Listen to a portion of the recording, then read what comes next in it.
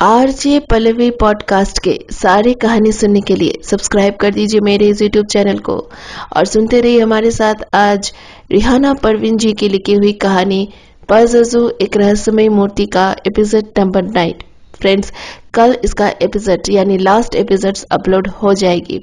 तो लगा लीजिए कान पे हेडफोन और सुनते रहिए हमारी कहानी। और हाँ आप लोगों को महालया का बहुत बहुत हार्दिक शुभकामनाएँ। हम लोगों के बंगाली कल्चर में आज से दुर्गा पूजा स्टार्ट हो जाती है। तो, तो मैं थोड़ा बिज़ी रहूँगी। अगर वीडियोस थोड़ा लेट लेट आए भी यानी ज़्यादा नेट लेट नहीं होगा लेकिन थोड़ा बहुत लेट आए तो प्लीज़ माफ़ी चाहती हूँ उसके लिए। क्योंकि दुर्गा पूजा के लिए हम लोग मैं थोड़ा बिज़ी रहूँगी। तो चलिए दोस्तों, अगर चैनल पर न्यू है तो सब्सक्राइब कर लीजिए और उसके बगल में जो बेल आइकन है उसको प्रेस कर लीजिए ताकि जब भी कोई मैं न्यू वीडियो लाऊं उसका नोटिफिकेशन आप लोगों के पास सबसे पहले पहुँच जाए।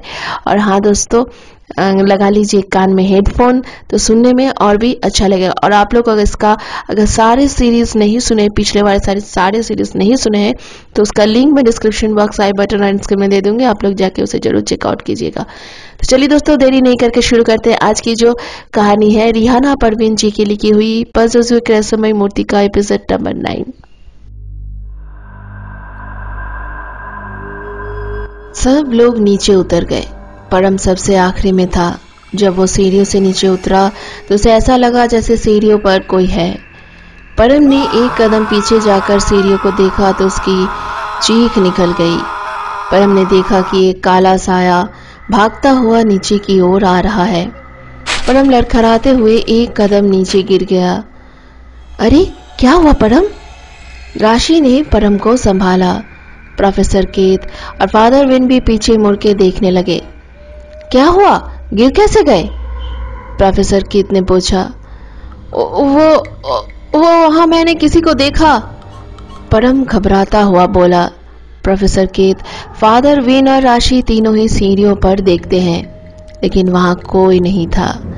प्रोफेसर कीत ने ऊपर जाकर देखा, लेकिन वहाँ भी कोई नहीं था। प्रोफेसर कीत ने मिस्टर लेवी से भी पूछा, लेकिन वहाँ कोई नहीं था। प्रोफेसर कीत नीचे आ गए। कोई नहीं है, ये तुम्हारा वहम होगा। प्रोफेसर कित बोले वो कोई साया था ना कि इंसान? और वो मेरी ओर भागता हुआ आ रहा था। परम थोड़ा घबरा के बोला, रिलैक्स, परम, तुम जाकर सो जाओ।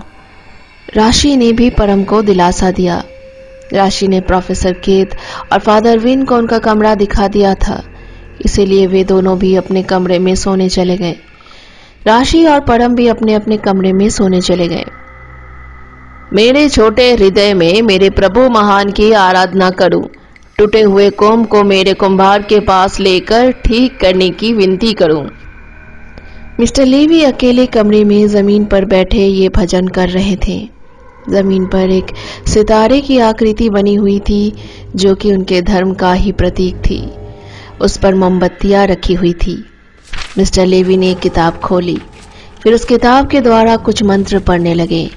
शायद वो किसी को बुला रहे थे। कि अचानक एक आवाज़ कमरे में गुंजी। कहो, मुझे इसके बारे में जानना है। मिस्टर लेवी अपने हाथ में एक बाल दिखाते हुए कहते हैं। मिस्टर लेवी के पास एक बाल था और वो बाल था मयूरी का। लेकिन इस बात से सभी बेखबर थे, क्योंकि इस विधि में ये काम चुपचाप और चुपके से किए जाते हैं। किसी की टोक लगने से काम बिगड़ने की संभावना रहती है। मिस्टर लेवी उस बाल को बीच में रखी एक मोमबत्तिया द्वारा जलाते हैं। जैसे ही वो बाल जलता है, वैसे ही उस बाल में से काला धुआँ निकलने लगा। धीरे धीरे वो धुआँ तीन अलग अलग चेहरों में बदल गया। एक चेहरा आम आदमी के जैसा था, दूसरा एक आदमी राक्षस और तीसरा एक महिला राक्षस। ओह my god, disaster! Mister Levi ने खुद से कहा, अचानक सारी मोमबत्तियाँ अपने आप बुझ गई। उस कमरे के खिड़की दरवाजे अपने आप खुलने बंद होने लगे। मिस्टर लेवी ने तुरंत अपनी विधि खत्म की और अपना सारा सामान समेटा। सामान लेकर वे नीचे पहुँचे तो देखा कि रात के दो बज रहे हैं। उन्हें नींद नहीं आ रही थी, इसीलिए वे बाहर टहलने चले गए। थोड़ी देर बाद वो अंदर आए और चुपचाप जाकर डाइनिंग रूम में पड़े। एक छोटे से सोफे पर लेट गए। मिस्टर लेवी काफ़ी देर तक कुछ सोचते रहे और फिर कब उनकी आँख लग गई उनको पता ही नहीं चला। अगली सुबह सुमन जब रसोई घर में जाने लगी तो उसने देखा कि मिस्टर लेवी तो यहीं सोफे पर सो गए हैं। सुमन ने तुरंत चाय बनाकर एक कप चाय मिस्टर लेवी को दी। मिस्टर लेवी को भी थकावट से थोड़ा आराम मिला। धीरे धीरे करके सभी लोग उठ गए। प्रोफेसर केत और फादर विन सुबह होते ही सबसे पहले मिस्टर लेवी से मिले और उनसे पूछा, आपको क्या पता चला? आपने हमें रात उठाया क्यों नहीं? सुमन ने बताया कि आप यहीं सो गए थे। जब मैं नीचे आया तो रात के दो बज रहे थे। मुझे लगा तुम सब लोग सो गए होगे। ऐसे में तुम्हें जगाना मैंने मुनासिब नहीं समझा।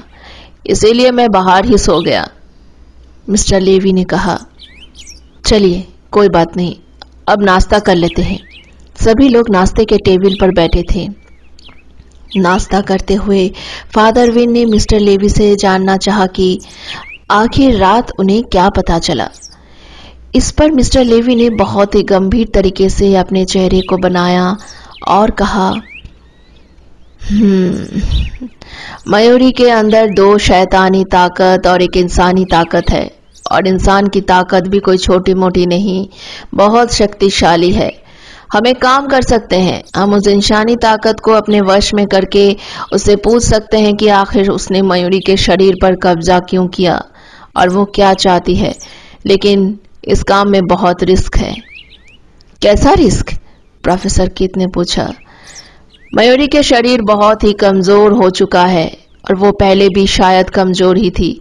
ऐसे में जब हम उसके अंदर से आत्मा को अपने वश में करेंगे तो उसके लिए आत्मा को शरीर से अलग करना होगा, जिसमें मयूरी की जान इस तरह खींचेगी जैसे उसके अंदर से किसी के मांस के टुकड़े को निकाला जा रहा हो, या फिर उसकी खाल को खींचा जा रहा हो। मयूरी को तकलीफ़ होगी, मिस्टर लेवी ने कहा। मिस्टर लेवी के मुँह से ये बातें सुन मयूरी की माँ ने उसी समय नाश्ता छोड़ दिया और वो रोने लगी। आंटी, प्लीज़ आप रोइए मत। सब ठीक हो जाएगा। काव्या मयूरी की माँ के कंधे पर हाथ रखते हुए समझाती है, लेकिन मयूरी की माँ के आँसू रुक ही नहीं रहे थे। आई एम सॉरी मेरा मतलब आपको दुख पहुंचाना नहीं था, लेकिन सच में मयूरी मुश्किल में है, मिस्टर लेवी ने कहा। सभी लोग मिलकर मयूरी की माँ को समझाते हैं। नाश्ता करने के बाद मिस्टर लेवी कहते हैं, हमें अब मयूरी से बात करने जाना होगा और तुम सारे लड़के भी उस कमरे के अंदर चलना। ये सुनकर देव, आयुष, कनिष्क और परम सोचते हैं कि हमारा क्या काम। डरो मत, मयूरी को काबू करने के लिए शरीर से ताकतवर इंसान की ज़रूरत है। इसीलिए तुम सभी लड़के उसे काबू करने के लिए हमारे साथ कमरे में चलना। तभी फादर विन ने पूछा, लेकिन बच्चों को कोई खतरा हुआ तो? चिंता मत करो, खतरा नहीं होगा। हम दोनों तो वहाँ रहेंगे ही, मिस्टर लेवी बोले। सभी लड़कों की जान गले में आ गई थी, क्योंकि उन्हें मयूरी से डर लग रहा था। लेकिन फिर भी उन्हें इस मुसीबत से छुटकारा तो पाना ही था। इसीलिए लोग मयूरी के कमरे में जाने के लिए तैयार हो जाते हैं। दरवाज़ा खोलते ही मयूरी अपने शरीर की अलग अलग आकृति बना रही थी। जैसे ही उसने पलट कर देखा कि दरवाजे पर इतने सारे लोग खड़े हैं, वो बुरी तरह चीखने लगी। चीखते चीखते उसकी आँखों से खून निकलने लगा। ये देख आयुष और उसके दोस्त बुरी तरह डर गए। मिस्टर लेवी और फादर विन अपने धर्म के अनुसार अपना पाठ कर रहे थे।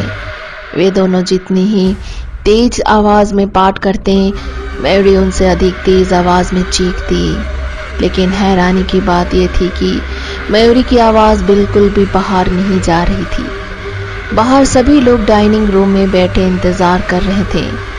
फादर विन और मिस्टर लेवी के पास अपने अपने बैग थे। फादर विन ने अपने बैग से चार क्रॉस निकाले और चारों दीवारों पर लगा दिए। वही मिस्टर लेवी ने अपने बैग से पवित्र जल की शीशी निकाली और मयूरी पर छिड़की जिससे मयूरी मछली की तरह छटपटाने लगी। मैं मार दूँगा इसे। चला जा यहाँ से। मयूरी किसी आदमी की आवाज़ में बोली जाओ सब लोग मयूरी को पकड़ो। मिस्टर लेवी ने प्रोफेसर केत की ओर इशारा करते हुए कहा, प्रोफेसर केत और आयुष, वो उसके दोस्त तुरंत मयूरी की तरह भागते हैं, लेकिन मयूरी एक कदम दीवार पर चढ़ती है। लेकिन ये क्या? प्रोफेसर केत और आयुष, वो उसके दोस्त तुरंत मयूरी की तरफ़ भागते हैं। मयूरी दीवार पर चढ़ती है, लेकिन ये क्या? मयूरी को एक झटका लगता है और वो नीचे जा गिरती है। और इसी का फ़ायदा उठाकर आयुष और बाकी लोग मयूरी को पकड़ लेते हैं। मिस्टर लेवी और फादर विन का अपना पाठ जारी था। मयूरी का मुँह अपने आप खोल रहा था, जिससे मयूरी को तकलीफ़ भी हो रही थी और उसके आँसू निकल रहे थे। तभी ये काला धुआँ मयूरी के मुँह से निकला और अचानक मयूरी बेहोश हो गई। मयूरी का शरीर ढीला हो चुका था।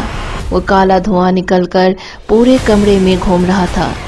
मिस्टर लेवी ने शीशी से पवित्र जल निकालकर उस काले धुएँ पर डाला तो उस धुएँ ने एक मानव आकृति ले ली धीरे धीरे वो अपने एक अस्तित्व में आने लगा ये दृश्य सभी लोग बड़े ही गौर से देख रहे थे उस आदमी की आकृति अजीब ही थी लंबी दाढ़ी शरीर पर एक लंबा चोगा और सिर पर एक लंबी टोपी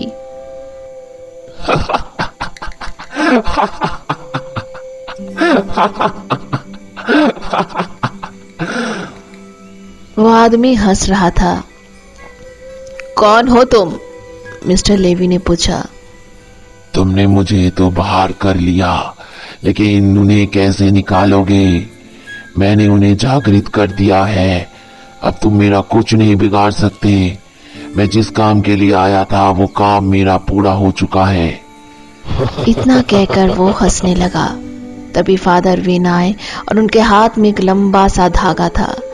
फादर विन उस धागे को उस आदमी के चारों ओर लपेट रहे थे और साथ ही अपना पाठ भी कर रहे थे। वो आदमी थोड़ा घबरा गया उसका चेहरा मुरझाने लगा और बोला मुझे बांधने का कोई फ़ायदा नहीं है। मेरा काम हो गया है। अगर तुम्हारा काम हो गया है तो तुम्हें बताने में क्या परेशानी है कि आखिर तुम कौन हो और क्या चाहते हो? मिस्टर लेवी ने पूछा। देखते जाओ अपने आप पता चल जाएगा। आदमी बोला मिस्टर लेवी को अब गुस्सा आ रहा था। वे अपने अपने बैग से एक सोफर निकालते हैं। फिर वो तीन बार अपने धर्म के किसी वर्ष का पाठ करते हैं और वो सोफर बजाते हैं। उस सोफर की ध्वनि से अचानक वो आदमी टूटने लगता है और कहता है रुको रुको रुको बताता हूँ उसे बंद करो। धीरे धीरे उस सोफर की ध्वनि बंद हो जाती है। मेरा नाम जका दिया है। मैं एक पुरोहित हूँ। मैं आज से हज़ारों वर्ष पहले इस दुनिया के अस्तित्व में आया था और हज़ारों साल से ही मैं इंतज़ार कर रहा था अपनी देवी को आज़ाद कराने का। वो आदमी बोला कौन है तुम्हारी देवी? मिस्टर लेवी ने पूछा। लिलित देवियों की देवी। पुरोहित जगातिया ने कहा लिलित का नाम सुनते ही फादर वीन और मिस्टर लेवी चौंक गए और एक साथ बोले क्या लिलित? हाँ आज से कई हज़ार साल पहले मैं उनका भक्त बना। उन्होंने उन्होंने मुझे वो दिया जो ये दुनिया ना दे सकी। पुरोहित ने कहा तो क्या तुम लिलित को आज़ाद करने के बात कर रहे थे? मिस्टर लेवी ने पूछा। हाँ वही है मेरी देवी। पुरोहित बोला तुम्हारी इतनी बड़ी देवी को कैद किसने किया भला? मिस्टर लेवी ने पूछा। नकुश। पुरोहित बोला पुरोहित के चेहरे पर गुस्सा था। नकुश का नाम सुनते ही वहाँ मौजूद सभी लोग घबरा गए क्योंकि उनके हिसाब से तो नकुश ने पजुजू को कैद किया था लेकिन ये पजुजू की मूर्ति में लिलित का क्या रोल है? नकुश उसने लिलित को कैसे और क्यों कैद किया? मिस्टर लेवी ने पूछा। क्योंकि वो जान चुका था मेरा सच। वो जान चुका था कि नगर में परजू शैतान लोगों को परेशान नहीं कर रहा बल्कि लिलित कर रही है।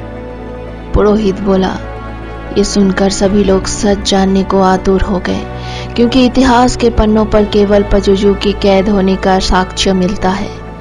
पुरोहित जगातिया ने सारा इतिहास वैसा ही बताया जैसा ही रॉबर्ट हेनरी ने अपनी किताब में लिखा था, लेकिन अंत कुछ और ही था। इसे सुनकर सब दंग रह गए। जब पुरोहित जगातिया ने उन्हें बताया, मैं नकुस की मौत पर बहुत खुश था। लेकिन मैं इस बात से अनजान था कि नकुस ने मेरी देवी लिलित को भी इसी मूर्ति में कैद कर दिया है। नकुश की मौत के अगले दिन जब मैंने लिलित का आह्वान किया तो वो प्रकट नहीं हुई। मैंने बहुत कोशिश की, लेकिन सब बेकार। तीन दिन बाद लिलित मेरे सपने में आई और उसने मुझे अपने कैद होने की जानकारी दी। नकोश ने लिलित को एक सोने की मूर्ति में कैद किया था। मैं उस मूर्ति को ढूंढता रहा। मुझे अपनी दो सोने की मूर्ति मिली, लेकिन वो बिल्कुल साधारण थी। मैंने तीसरी सोने की मूर्ति को बहुत ढूंढा, लेकिन मुझे वो मूर्ति नहीं मिली। लगभग तीस दिनों बाद राजा पार्थियान ने मंदिर का पूर्ण निर्माण करने की घोषणा की, और उसी दिन से कार्य भी शुरू हो गया। जिस दिन से कार्य शुरू हुआ था, उसी दिन में मैंने एक व्यक्ति पर ध्यान केंद्रित किया, और वो था डेरियस। नकुश का साथी। वो रोज मंदिर आता और मंदिर के चारों ओर घूमता। मंदिर के ठीक पीछे नकुश की समाधि थी। डेरियस बार बार नकुश की समाधि पर जाता, लेकिन देखता कि आसपास लोग हैं तो लौट जाता। मुझे उस पर शक होने लगा कि ज़रूर कोई बात है। लेकिन एक दिन डेरियस पकड़ा गया। मंदिर के निर्माण के चलते रोज शाम को जल्दी सब काम खत्म कर सभी श्रमिक अपने घर चले जाते थे। और सैनिक पहारा देते थे। उस दिन शाम ढल चुकी थी। ज़ोर की बारिश हो रही थी। ऐसी बारिश आज तक कभी उस नगर में नहीं हुई थी। उस दिन अचानक राजा के महल में घुसकर किसी ने उन पर हमला कर दिया। ऐसा हमला पहली बार हुआ था। जैसे ही उस हमले की खबर लोगों तक पहुँची, सभी लोग राजा के महल के बाहर इकट्ठा हो गए। तक मंदिर में तैनात सैनिक भी महल आ पहुँचे। मैं भी उस समय वहीं था। राजा का शरीर उनका साथ छोड़ रहा था। उन्होंने मुझे अपनी आखिरी इच्छा बताई कि वो अंतिम बार मंदिर के गर्भगृह में रखा हुआ जल पीना चाहते हैं। गर्भगृह में केवल मैं ही राजा ही जा सकते थे। इसीलिए मैं उसी समय भागता हुआ मंदिर में आया और जब मैं जल लेकर वापस जा रहा था तो मुझे कुछ खुदाई जैसी आवाज़ आई। मंदिर के पूर्ण निर्माण की वजह से मंदिर की काफ़ी जगह टूटी हुई थी। केवल गर्भगृह को छोड़कर। मैंने इधर उधर देखा कि आवाज़ कहाँ से आ रही है। जब मैं पीछे की ओर गया तो देखा कि डेरियस नकुश की समाधि को खोद रहा है और ज़मीन पर पचुजू की सोने की मूर्ति रखी है। मैं समझ गया था कि ये वही मूर्ति है जिसमें मेरी देवी लिलित कैद है। मैं उसी समय भागता हुआ डेरियस के पास पहुँचा। डेरियस मुझे देखते ही घबरा गया। उसने जल्दी जल्दी वो मूर्ति नकुश की समाधि में रखने लगा। ने डेरियस को धक्का दिया और उस मूर्ति को निकालने ही वाला था कि अचानक मंदिर की एक मीनार मेरे और डेरियस के ऊपर आ गिरी। वो मीनार पत्थर की थी। मैंने वहीं पर दम तोड़ दिया, लेकिन मेरी आत्मा ज़िंदा रही। ज़िंदा रहे तो तुम खुद भी लिलित को आज़ाद कर सकते थे। मयूरी के शरीर को पकड़ने की क्या ज़रूरत थी? मिस्टर लेवी ने कहा, क्योंकि एक इंसानी शरीर का इस्तेमाल करके ही मैं अपनी देवी को पूछ सकता था, और साथ ही पजुजू के आह्वान के लिए भी एक शरीर की ज़रूरत थी, जो अब पूरी हो चुकी है। हज़ारों वर्षों तक मैं अपना शिकार ढूंढता रहा, लेकिन कोई भी मयूरी के जैसा नहीं था। कमज़ोर, मासूम, लेकिन अंदर से दृढ़ बस पाँच दिन और। इतना कहते ही पुरोहित की आत्मा पर बंधा धागा काला पड़ने लगा और सूख के टूट गया। इसके साथ ही पुरोहित कहीं गायब हो गया। अरे, ये क्या? फादर विन एकदम बोले, तभी मिस्टर लेवी की नज़र आयुष पर पड़ती है और वो चीखते हैं। मिस्टर लेवी भागकर आयुष के पास जाते हैं। लेवी की नज़र आयुष पर पड़ती है और वो चीखते हैं। मिस्टर लेवी भागकर आयुष के पास जाते हैं। आयुष और मयूरी के होंठ एक दूसरे के होंठों पर रखे थे और वे दोनों सब बातों से अनजान अपने में ही खोए हुए थे। मिस्टर लेवी ने आयुष को झटक के खींचा और गुस्से में कहा, तुम पागल हो क्या? आयुष सबको ऐसे देखने लगा जैसे अभी अभी बेहोश से होश में आया है। आयुष के दोस्त भी उसकी ये हरकत देख हैरान थे कि आयुष सबके सामने मयूरी को किस कैसे कर सकता है। तुम्हारा दिमाग खराब है? तुम जानते भी हो कि ये मयूरी है या कोई और? फादर विन ने भी गुस्से में कहा तो ऐसे सबके सामने मयूरी को किस कैसे कर सकता है? किसी का लिहाज नहीं है? गणेश आयुष को डांटता है, लेकिन मयूरी और आयुष चुपचाप खड़े ये सब देख रहे थे। मयूरी बहुत ही मासूम लग रही थी। आयुष अब भी सोच रहा था कि क्या सच में वे ऐसी हरकत कर सकता है? क्या सच में वो सबके सामने मयूरी को किस कर सकता है? आयुष एक निगाह मयूरी की तरफ़ देखता है।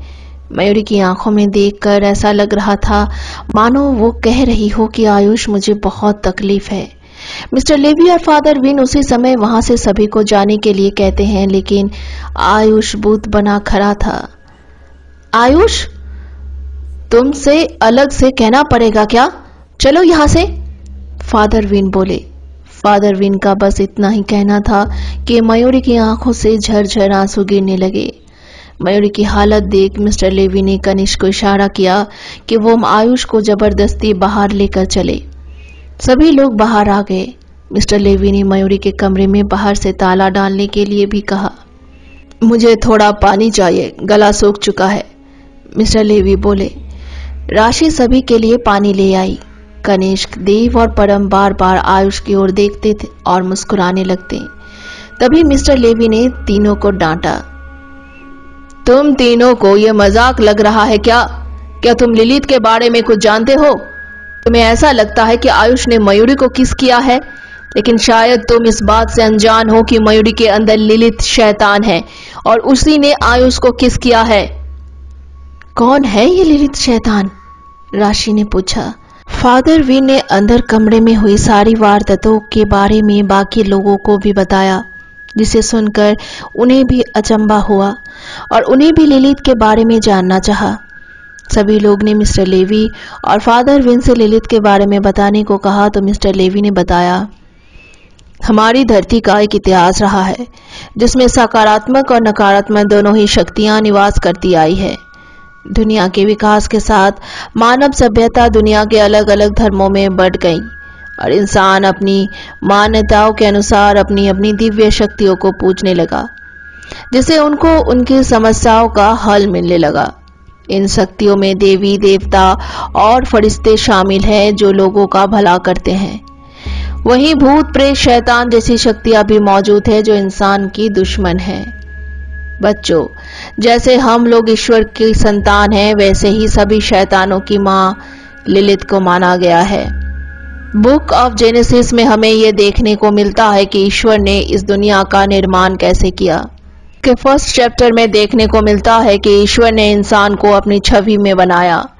ईश्वर ने एक आदमी और एक औरत बनाए इसके बाद सेकेंड चैप्टर में लिखा है कि ईश्वर ने इंसान को धरती की धूल से बनाया है और उसके उसके शरीर में सांसों की ज़रिए जान फूंक दी। मेसोपोटामिया सभ्यता में ये कथा प्रचलित थी कि लिलित इस दुनिया के पहले इंसान, यानी एडम की पहली पत्नी थी। लिलित एडम संभोग के संबंध में हमेशा ही ना झगड़ा करती थी। धीरे धीरे वो हर बात में एडम की बराबरी करने लगी थी। एक दिन झगड़ा इतना बढ़ गया कि लिलित एडम को ईडन गार्डन में अकेला छोड़कर चली गई। कुछ फरिश्तों ने लिलित को समझाने की कोशिश की, लेकिन वो अपनी जिद पर अड़ी रही। अंत में ईश्वर ने उसे श्राप दिया कि उसके बच्चे हर रोज खत्म होंगे। इसके जवाब में लिलित ने भी प्रण लिया कि वो एडम के वंशजों को भी नहीं छोड़ेगी मतलब पूरी मानव सभ्यता को। लिलित ने प्रण लिया था कि जब भी किसी इंसान के घर बच्चा पैदा होगा तो वो आठ दिन के अंदर उस बच्चे को मार देगी। इसीलिए आज भी बच्चे के जन्म के बाद के छह से आठ दिन काफ़ी महत्वपूर्ण होते हैं। उन दिनों बच्चों को बहुत ही ज़्यादा ख्याल रखा जाता है, जैसे उसे खुले आसमान में नहीं बैठाया जाता। और भी अनेक प्रकार की मान्यताएँ प्रचलित है, जो आज भी लोग करते हैं, सिर्फ़ लिलित से बचाव के लिए। लिलित एक नकारात्मक शक्ति है, जिसे हवस से जोड़ा जाता है। लिलित बहुत ही खूबसूरत है। ऐसा भी कहा जाता है, ईश्वर ने एडम और ईव को एक फल खाने को मना किया था। और ईव, यानी एडम की पत्नी को फल खाने के लिए लिलित ने सांप बनकर उकसाया था। तब से ही लिलित मानवता की दुश्मन बनी पड़ी है। लिलित, आदमियों को अपने हुस्न और सम्मोहन के जाल में फंसाकर उनके संबंध बनाती है और इस प्रकार कई शैतानों को जन्म भी देती है। इसीलिए इसे शैतानों की माँ भी कहा जाता है। लिलित न केवल शैतानों को जन्म देती है, बल्कि उसे सभी बुरी शक्तियों और बुरे काम के लिए जाना जाता है। इस संसार में जितने ही बुरे काम हैं, वो सभी लिलित द्वारा ही उकसाए जाने पर किया जाता है। सारे बुरे काम? लेकिन लिलित तो कैद है। लेकिन बुरे काम आज भी दुनिया में होते हैं। देव ने पूछा, मैंने बताया ना कि वो शैतानों को जन्म भी देती है, और वो शैतान भी वही काम करते हैं जो लिलित चाहती है। मिस्टर लेवी ने कहा, मुझे तो अब इस बात पर हैरानी हो रही है कि आयुष ने मयूरी को नहीं, बल्कि एक शैतान को किस किया? जब मयूरी को पता चलेगा आयुष ने ये सब एक शैतान के साथ किया तो उसका क्या होगा? इश्क एक मजाकिया अंदाज में बोला, बच्चों, ये मज़ाक करने का समय नहीं है। तुम्हारी दोस्त मयूरी की जान खतरे में है। तुम अभी ललित की ताकत का अंदाज़ा नहीं लगा सकते। और हाँ पजजू, ये मत भूलो कि मयूरी के अंदर पजजू शैतान भी है। तुम लोग सोच भी नहीं सकते कि मयूरी किस दर्द से गुजर रही है। वो शायद तुम लोगों के सामने ज़िंदा है, इसीलिए तुम इतमान से हो, लेकिन उसकी तरफ़ तो वही जानती है। मिस्टर लेवी ने कहा, परम और काव्या ने कनिष्क की ओर गुस्से से घूरा, क्योंकि सच में ये मज़ाक नहीं था। कनिष्क को भी खुद पर शर्मिंदगी हुई। मयूरी के माँ बाप भी बहुत ज़्यादा चिंता में थे। सर, अब कैसे भी करके मेरी बेटी को बचा लीजिए। मैं आपको बहुत आभारी रहूँगा। आप प्लीज़ जल्द से जल्द कुछ कीजिए।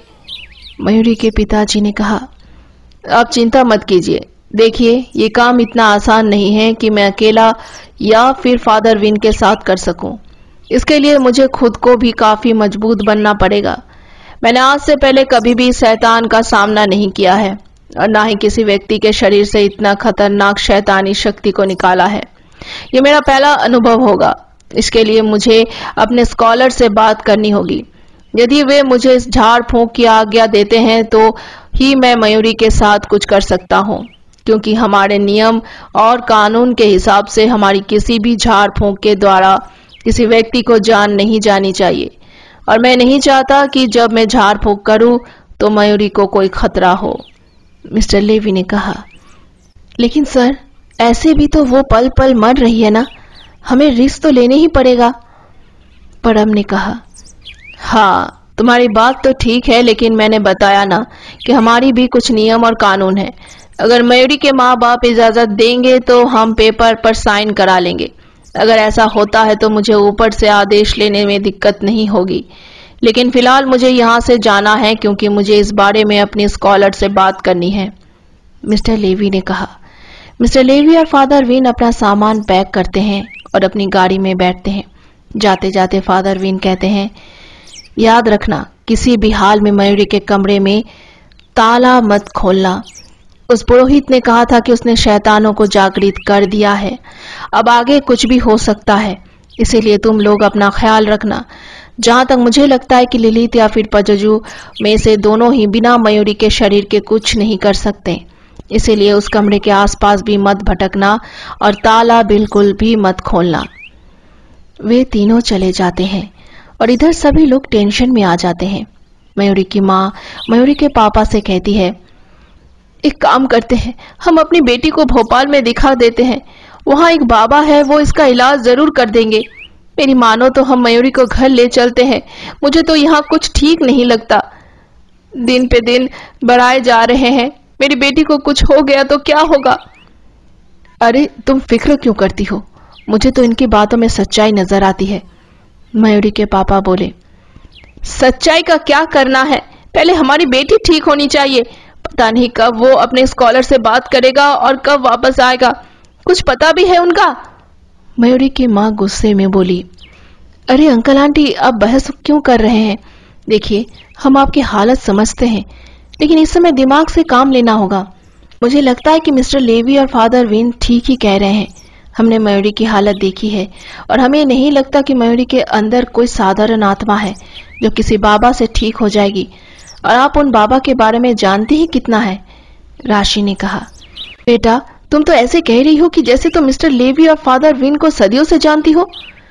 मयूरी की माँ गुस्से में बोली, राशि को थोड़ा बुरा लगा, लेकिन उसने बात को संभालते हुए कहा, नहीं आंटी, ऐसी बात नहीं है, लेकिन बातों में एक आकर्षण भी होता है। मुझे नहीं लगता कि मिस्टर लेवी या फादर विन इस मामले में झूठ बोलेंगे। बाकी आपकी मर्ज़ी है, आपकी बेटी है जैसा आपको ठीक लगे, वैसा कर सकती है। लेकिन हम भी यही चाहते हैं कि मयूरी जल्द से जल्द ठीक हो जाए, राशि ने कहा। हाँ आंटी जी, अब आप परेशान मत होइए। देखना, भगवान सब ठीक कर देगा। नीचे एक मंदिर है। आज हम वहीं चलकर मयूरी के लिए प्रार्थना करेंगे। मुझे यकीन है, भगवान हमारी प्रार्थना ज़रूर सुनेंगे और मयूरी को ठीक कर देंगे। बस हमें विश्वास नहीं खोना है।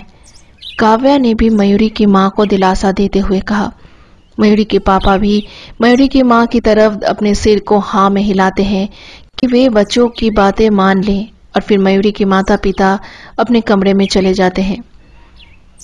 मेरा तो शुरू से ही मन नहीं था मयूरी को उसके दोस्त के साथ यहाँ भेजने का, लेकिन न जाने उस काव्या ने आप पर क्या जादू किया, आपने हाँ कर दी।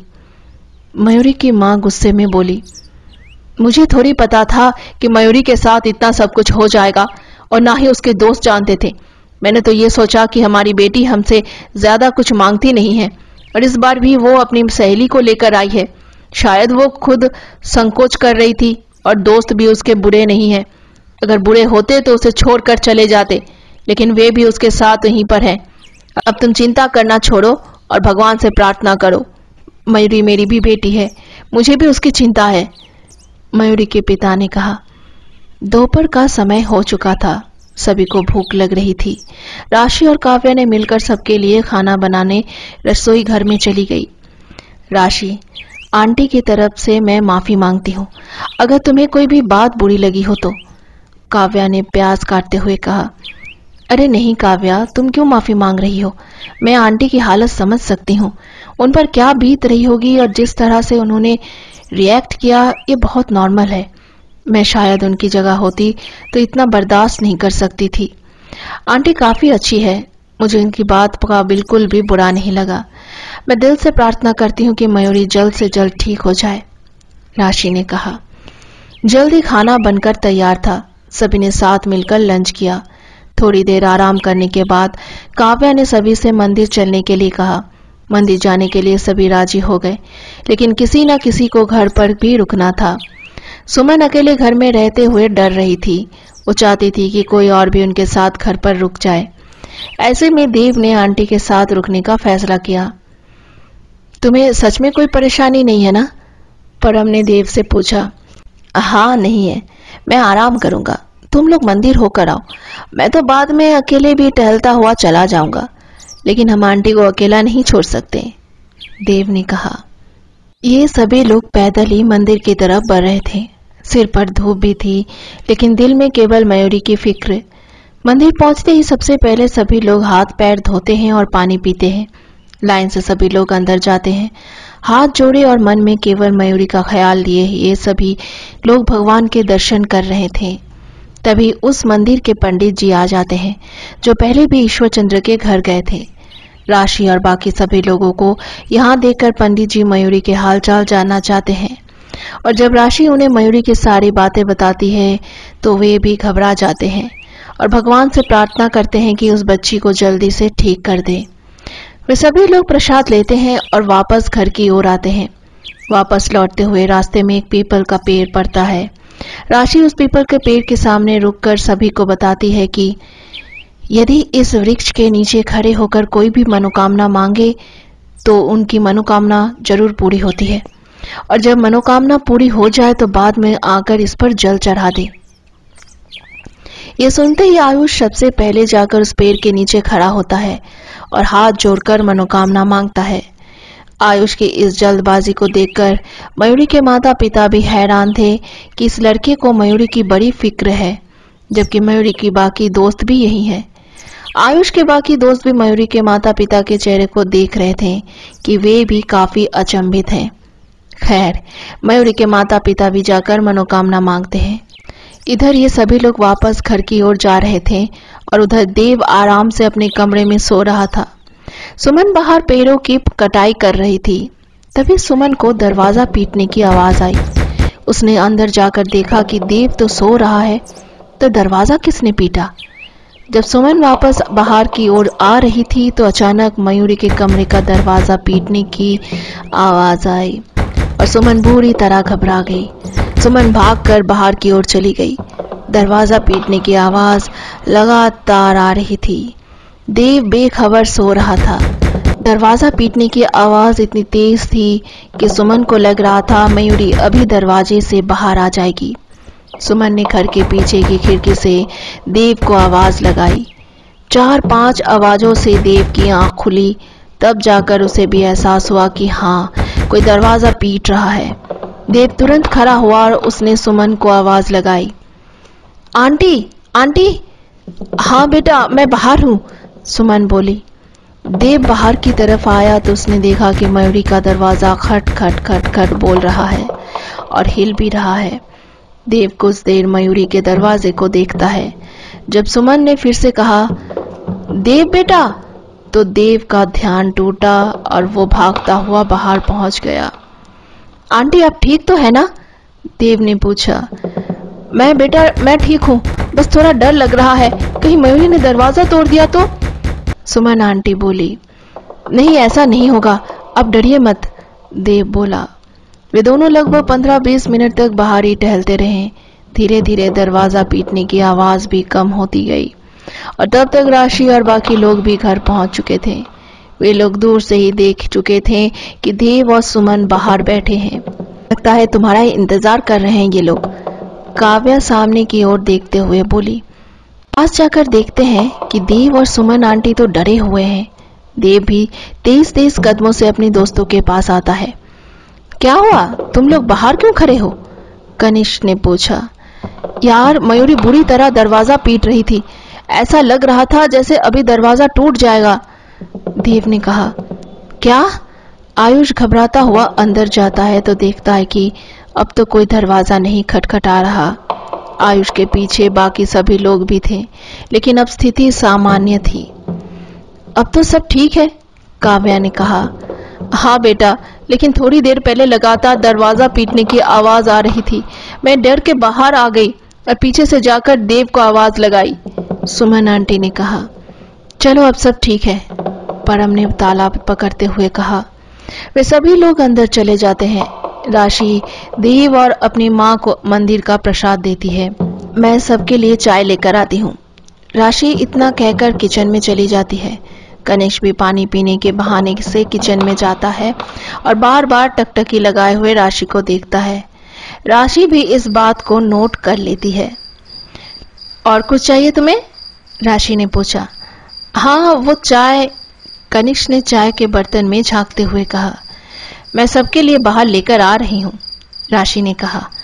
ओ, ओके, कनिष्ठ ने कहा और बाहर आकर बैठ गया।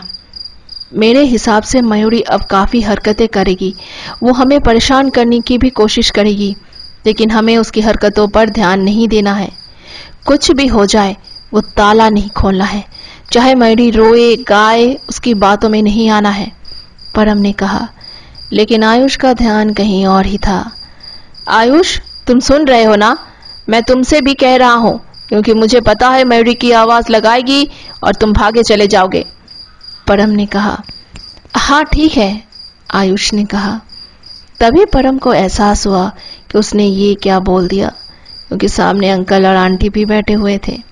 वे दोनों भी एक दूसरे का मुँह देख रहे थे। उन्हें भी दाल में कुछ काला लग रहा था कि लड़का मयूरी के मामले में काफ़ी सीरियस है। आखिर ऐसा क्यों? सभी लोगों ने चाय पी और कुछ देर बातें की। रात का खाना बनाने के लिए सुमन, राशि और काव्या किचन में चले गए। तभी प्रोफेसर कित का फ़ोन आया। परम ने अपने फ़ोन को स्पीकर पर किया ताकि सभी लोग उन दोनों की बातें सुन पाए। परम। जी, प्रोफेसर कित, कहिए, क्या हुआ? प्रोफेसर कित, बच्चों, तुम्हें एक बात बतानी थी। परम हाँ बताइए। प्रोफेसर कित, मेरे पास अभी अभी मिस्टर लेवी का फ़ोन आया था। वो कह रहे हैं कि उन्होंने अपने स्कॉलर से बात की है और वे एक बार मयूरी से मिलना चाहते हैं। उसके बाद ही मयूरी के एक्सोसिज्म के इजाज़त देंगे। परम अच्छा ऐसा है क्या? लेकिन सर, मयूरी ठीक तो हो जाएगी ना? प्रोफेसर कित। उम्मीद तो यही है कि मिस्टर लेवी मयूरी को ठीक कर देंगे।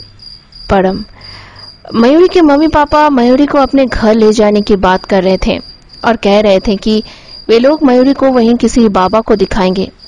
प्रोफेसर कित, देखो, बेटा, मुझे नहीं लगता कि इस समय मयूरी को इस कमरे से बाहर निकालना भी मुनासिब है। और किसी अन्य बाबा को ऐसे ही दिखाना मुझे नहीं लगता ये ठीक रहेगा। मैंने अभी तक इंडिया में पजुजू या लिलित शैतान के प्रकोप के बारे में नहीं सुना और ना ही किसी ऐसे व्यक्ति के इलाज के बारे में सुना, जिस पर पजुजू शैतान हो। बाकी तो मयूरी उनकी बेटी है, लेकिन मैं यही सलाह दूँगा, जब अभी तक मिस्टर लेवी तक ये मामला है तो फिर कहीं और क्यों? ऐसा भी नहीं है कि लेवी और फादर वीन आपसे कोई पैसा मांग रहे हो। परम हम्म आपका कहना भी ठीक है। चलिए तो फिर आप मिस्टर लेवी और उनके स्कॉलर्स को ले आइए। वैसे कब आएँगे वो? प्रोफेसर कित। वो तो कल ही आ जाएँगे। मिस्टर लेवी के बातों से लग रहा था जैसे उनके स्कॉलर्स मयूरी से मिलने के लिए ज़्यादा बेचैन है। परम। अच्छा ये तो अच्छी बात है। जितनी जल्दी हो सके उतना ही ठीक है। Professor Kit. Okay, bye. Take care. मैं उन्हें कल आने के लिए कह देता हूँ। प्रोफेसर कित इतना कहकर फ़ोन रख देते हैं। सुना आप लोगों ने? मुझे प्रोफेसर कित की बातों पर ज़्यादा भरोसा है। वो एक अनुभवी इंसान है, परम ने कहा। प्रोफेसर कित और परम की बातें सुनकर मेरी की माँ भी शांत थी। चलो, सब खाना खा लो। राशि ने सभी को डाइनिंग रूम की तरफ़ बुलाया। सभी लोग एक एक करके कुर्सी पर बैठने लगे। राशि, तुम्हें पता है, कल मयूरी से मिले मिस्टर लेवी के स्कॉलर्स आ रहे हैं। वो चाहते हैं कि एक बार वे लोग भी मयूरी को देख लें। उसके बाद ही झाड़ फूक करने की इजाज़त दें कनिष्क ने कहा। अच्छा चलो ये भी सही है।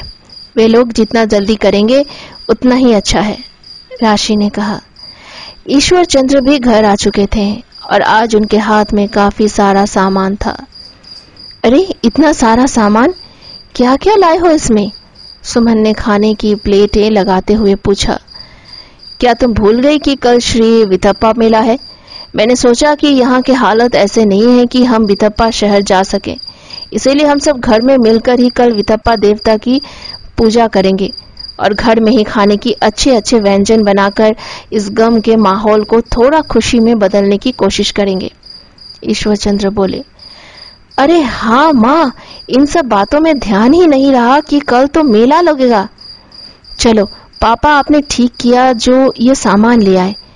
अब हम घर में अपना त्योहार मनाएँगे। आओ पापा, आप भी खाना खा लो, राशि ने कहा। ईश्वर चंद्र भी सभी के साथ खाना खाने बैठ जाते हैं। खाना खाकर सभी लोग थोड़ा बाहर टहलते हैं और फिर अपने अपने कमरे में सोने चले जाते हैं। आयुष और उसके दोस्त अपने कमरे में लेटे थे। यार, मैं सोच रहा हूँ कि क्या सच में मिस्टर लेवी मयूरी को ठीक कर पाएँगे? यह आंटी ठीक कह रही है कि उन्हें भोपाल में ही दिखाना चाहिए। देव ने सोचते हुए कहा, तू पागल है? मुझे तो मिस्टर लेवी ठीक लग रहे हैं। और हाँ एक बात तो मैं बताना ही भूल गया। ये देखो कनिष्क ने अपना फ़ोन निकाला और गूगल में पजजू के बारे में सर्च किया और सभी लोग दिखाया। हाँ यार, गूगल की जानकारी के हिसाब से तो फादर विन और मिस्टर लेवी ही ठीक लग रहे हैं। ये सभी बातें यहूदी धर्म से जुड़ी हुई है। तो शायद मिस्टर लेवी ही मदद कर सके। परम बोला, ओहो, अब तुम लोग बातें ही करते रहोगे या सोओगे भी? काव्या चिड़चिड़ाते हुए बोली हाँ यार, सो जाओ, वैसे भी नींद पूरी नहीं हो रही है। कनिष्क बोला, वे लोग सो गए। सोए हुए लगभग आधा घंटा ही हुआ होगा। सोए हुए लगभग आधा घंटा ही हुआ होगा कि कनिष्क राशि की आवाज़ आई। कनिष्क कनिष्क बाहर आओ। कनिष्क ने करवट बदली और उसे ऐसा लगा भी जैसे किसी ने उसे आवाज़ दी। फिर जब दोबारा आवाज़ आई तो उसने अपनी आँखें अच्छी से खोली। कनिष्क, मैं राशि, बाहर आओ। ये तो राशि की आवाज़ है। ये इस समय मुझे क्यों बुला रही है? कनिष्क ने समय देखा तो साढ़े बारह बज रहे थे। कनिष्क ने सोचा, शायद उसे कोई बात करनी हो। इसीलिए वो चुपचाप उठकर बाहर जाने लगा। लेकिन दरवाजे पर कोई नहीं था। अब वो राशि को ढूंढता हुआ राशि के कमरे की ओर गया। राशि अपने माँ के साथ एक ही कमरे में सोती थी। कनिष्क ने खिड़की से देखा कि राशि तो बेखबर सो रही है। कनिष्क को लगा कि राशि उसके साथ मज़ाक कर रही है। इसीलिए कनिष्क ने खिड़की से ही राशि से हल्के हल्के पुकारना शुरू किया, लेकिन राशि तो बेखबर सो रही थी। उसी समय कनिष्क को ऐसा महसूस हुआ जैसे किसी ने उसके कंधे पर हाथ रखा। जैसे ही उसने पलट कर देखा तो कोई भी नहीं था। बस एक हवा का झोंका था और वो झोंका भी सिर्फ़ कनिष्क के मुँह पर लगा। कनिष्क ने आसपास देखा कि पर्दे तो ऐसे के ऐसे ही है। तो ये हवा अचानक कनिष्क का ध्यान मयूरी की तरफ़ गया और वो घबरा गया। कनिष्क ने वहाँ से वापस जाना चाहा, लेकिन गलती से उसके हाथ से खिड़की के पास मेज पर रखा जग गिर गया। जग गिरने की आवाज़ से राशि की आँख खुल गई और उसकी नज़र सीधे खिड़की पर गई। उसने देखा कि कोई खड़ा है, लेकिन इस समय कौन? राशि ने एक नज़र घड़ी की ओर देखा तो पौने बारह बज रहे थे। वो उठी और बाहर आई। कनिष्क वापस अपने कमरे की ओर जा रहा था। राशि ने कनिष्क को आवाज़ लगाई। कनिष्क पीछे मुड़ने से डर रहा था, इसलिए उसने अपने कदमों की चाल तेज कर दी। अरे कनिष्क, रुको तो क्या हुआ? इतनी रात को तुम यहाँ क्या कर रहे हो? राशि भी तेज तेज कदमों से उसके पीछे गई और उसका हाथ पकड़ लिया। कनिष्क ने पीछे मुड़कर देखा तो सच में राशि ही थी। कनिष्क ने राहत भरी सांस ली और कहा थैंक गॉड तुम ही हो। मैं ही हूँ? उससे क्या मतलब? और कौन था यहाँ पर? राशि ने पूछा। अभी एक हवा का झोंका आया और वो सिर्फ़ मुझे महसूस हुआ। अच्छा ये बताओ, क्या तुमने थोड़ी देर पहले आकर मुझे आवाज़ दी थी? कनिष्क ने पूछा। मैं इतनी रात को तुम्हें आवाज़ क्यों दूँगी? मैं तो अपने कमरे में सो रही थी। लेकिन तुम यहाँ क्या कर रहे हो? तुमने नहीं बताया? राशि ने कहा। मैं भी सो गया था। तुमने मुझे आवाज़ दी कि बाहर आओ। जब मैं बाहर आया तो कोई भी नहीं था। मुझे लगा कि शायद तुम कोई शरारत कर रही हो। इसलिए मैं तुम्हारे कमरे की तरफ़ आया, लेकिन तुम तो सो रही थी। और फिर मुझे एहसास हुआ कि किसी ने मेरे कंधे पर हाथ रखा। जैसे ही मैंने पीछे मुड़कर देखा तो कुछ भी नहीं था। बस एक हवा का झोंका, जो सिर्फ़ मेरे चेहरे पर लगा। तभी मेरा ध्यान मेरी की ओर गया और मैं घबरा गया। कनिष्क ने कहा अच्छा चलो ठीक है, अब जाकर सो जाओ। मैं इतनी रात को परेशान नहीं करती हूँ और ना ही शरारत, राशि ने कहा, और वो दोनों अपने अपने कमरे में चले गए। कनिष्क को लगभग दो बजे नींद आई। अगली सुबह, राशि और उसकी माँ सुमन जल्दी उठ जाते हैं और घर के कामकाज करने लगते हैं। बाकी के लोग भी धीरे धीरे करके उठते हैं। सबसे पहले कनिष्क उठता है। फ्रेश होने के बाद वो पानी पीने के लिए रसोई घर की ओर जाता है। तो कॉरिडोर से ही देखता है कि राशि एक कमरे में, जो कि पूजा घर में सजी धजी ज़मीन पर बैठी है। राशि को देखकर कनिष्क उसमें खो जाता है। राशि बला की खूबसूरत लग रही थी। कनिष्क के कदम अपने आप रसोई घर ना जाकर सीधे पूजा घर में जाते हैं। देखता है कि राशि ज़मीन पर रंगों से रंगोली बना रहे हैं। कनिष्क चप्पल लेकर एक कमरे में चला जाता है, क्योंकि वो इस बात से अनजान था कि इस कमरे में पूजा करते हैं। अरे, उठ गए तुम? कैसी लग रही है ये रंगोली? राशि ने पूछा। बेहद खूबसूरत। कनिष्क ने राशि के चेहरे की ओर देखते हुए कहा थैंक यू अपने दोस्तों को भी उठा दो और जल्दी से तैयार होने के लिए कह दो। हम सब मिलकर घर में ही पूजा करेंगे। राशि ने कहा, राशि का ध्यान एकदम कनिष्क के पैरों पर जाता है। अरे अरे, चप्पल तो उतारो, ये पूजा घर है। ओह, सॉरी, मैं नहीं जानता था, मैं जा ही रहा हूँ। इतना कहकर कनिष्क वापस रसोई घर में चला गया। जल्द ही सभी लोग तैयार होकर पूजा घर में मिलते हैं और श्री विथप्पा देवता की पूजा करते हैं। सुमन और राशि ने मिलकर अनेक प्रकार के स्वादिष्ट व्यंजन बनाए थे। वे सभी देवता को भोग चढ़ाए। पूजा करने की वजह से नाश्ते में देरी हुई थी और सामने इतने स्वादिष्ट पकवान देखकर देव तो बस यही सोच रहा था कि जल्दी से पूजा हो जाए, फिर वो ये सब खाए। आज सबके एक साथ पूजा करने से सबके दिलों में एक सकारात्मकता आ गई थी और एक नई ऊर्जा भी। पूजा करने के बाद सभी डाइनिंग रूम की तरफ़ गए। देव तो बेसब्री से खाने का इंतज़ार कर रहा था। नाश्ता आते ही देव खाने पर टूट पड़ा। सच में, बहुत ही स्वादिष्ट बनाया है आंटी आपने, परम बोला।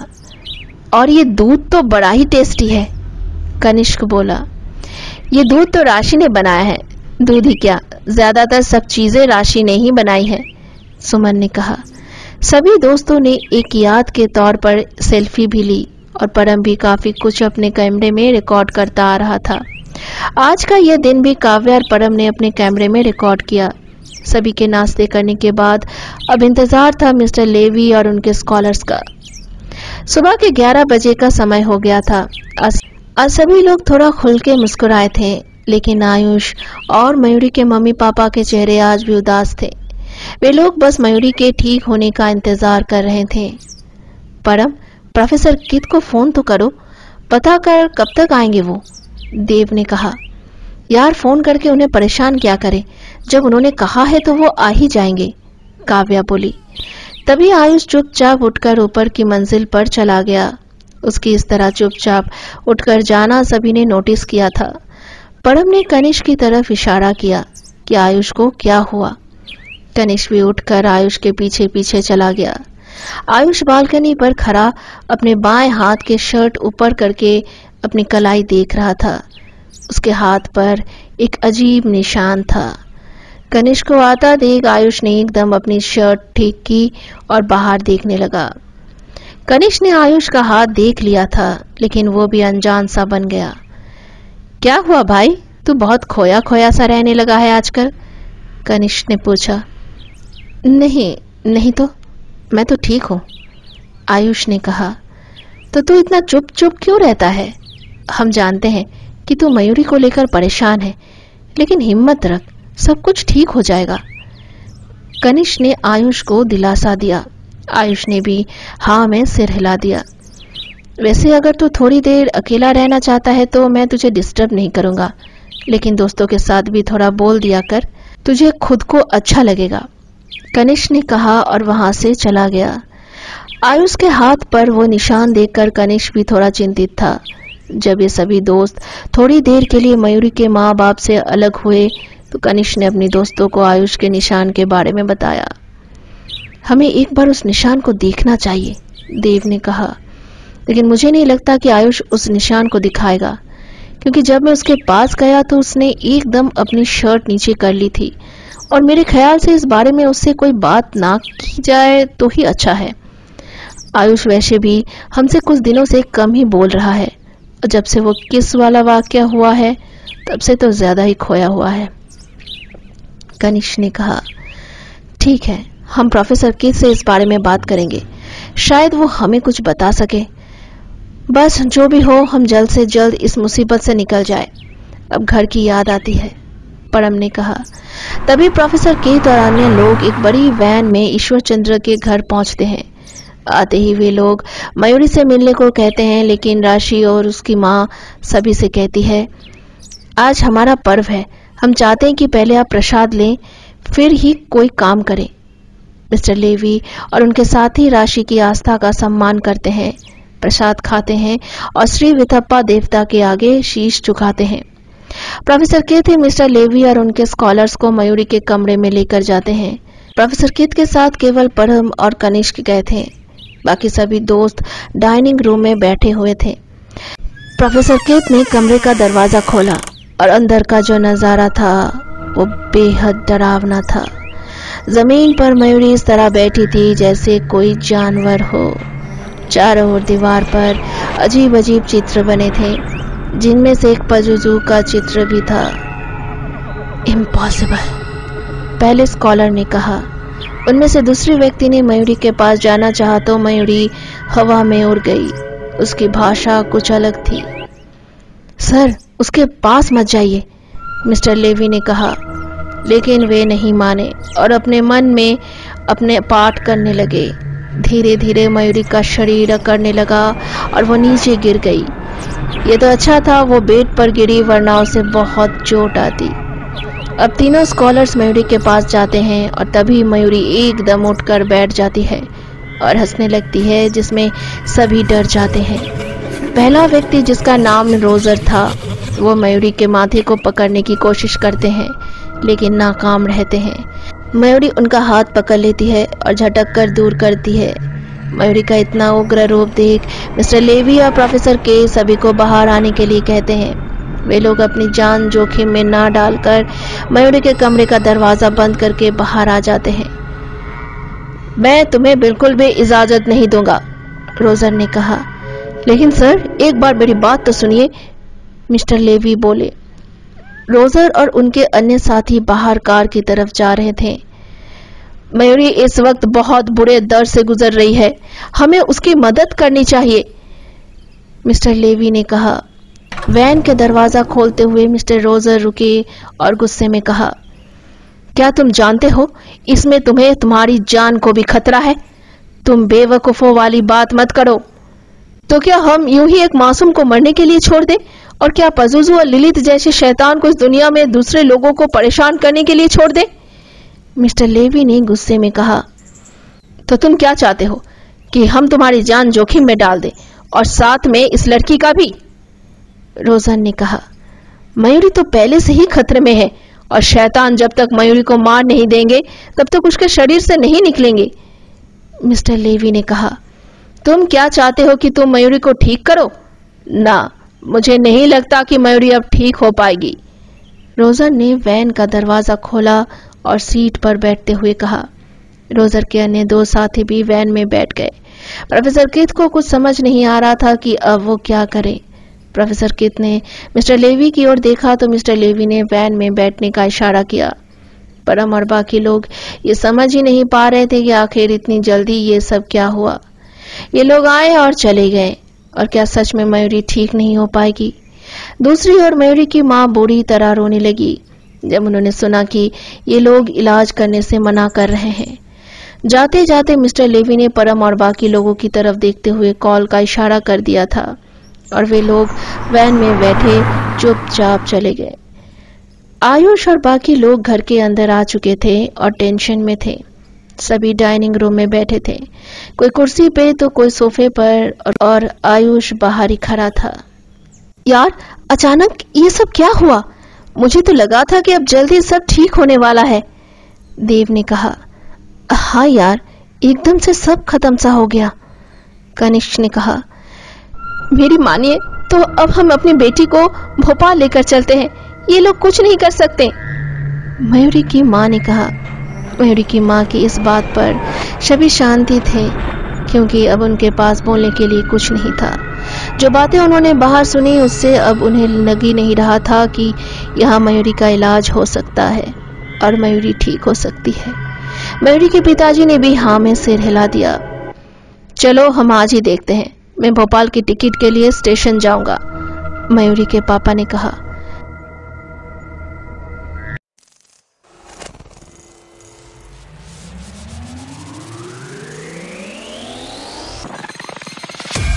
क्या होगा? मयूरी के माँ बाप उसे भोपाल कैसे लेकर जाएँगे? जबकि मिस्टर लेवी ने तो उसे कमरे से बाहर निकलने के लिए भी मना किया था। और मयूरी के दोस्त अब आगे क्या करेंगे? जानने के लिए सुनते रहिए हमारे साथ आर्य पलेवी पॉडकास्ट के रिहाना परवीन जी की लिखी हुई कहानी पजो एक रहस्यमय मूर्ति का लास्ट एपिसोड जो कि कल आने वाली है। दोस्तों I am very very sorry कि दो दिन थोड़ा लेट हो गया। मैंने कहा था कि संडे को आने वाली लेकिन नहीं आ पाई। क्योंकि अभी चल रहा है दुर्गा पूजा। दुर्गा पूजा का सब तैयारी करने वाली हूँ मैं। तो हम लोग का तो वैसे षष्ठी, सप्तमी, अष्टमी, नवमी दशमी का पूजा होता है बंगाली लोग का।